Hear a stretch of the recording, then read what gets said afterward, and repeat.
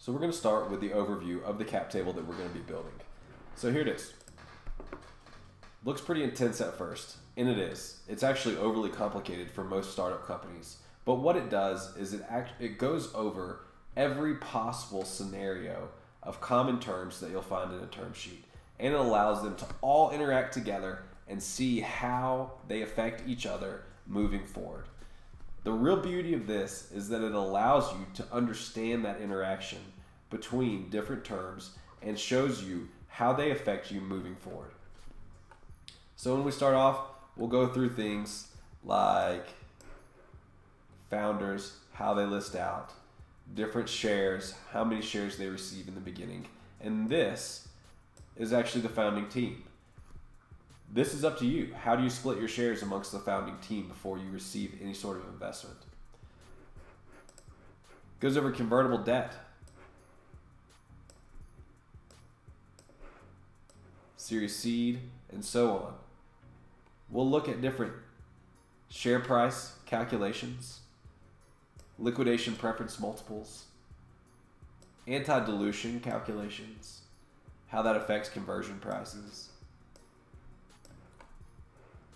methods of convertible note share issuances, how, how to calculate those, valuation caps on liquidation preferences, effective liquidation preferences, because most convertible notes actually have a higher effective liquidation preference than the shares in the round in which they were issued.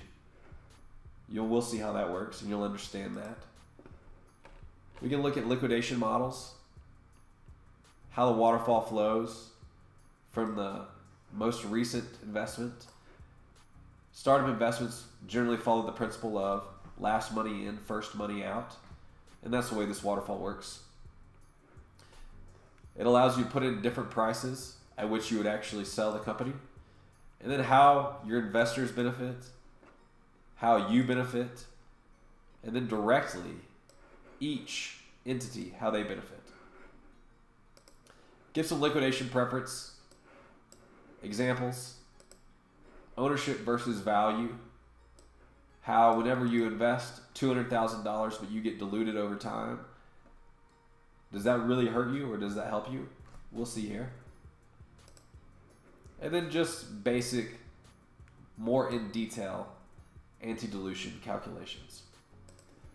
So, this will take a little while. It'll take a little bit of time commitment on your part, but it will not hurt you. I guarantee you. It'll only benefit you to understand how these work. It'll make you a better investor.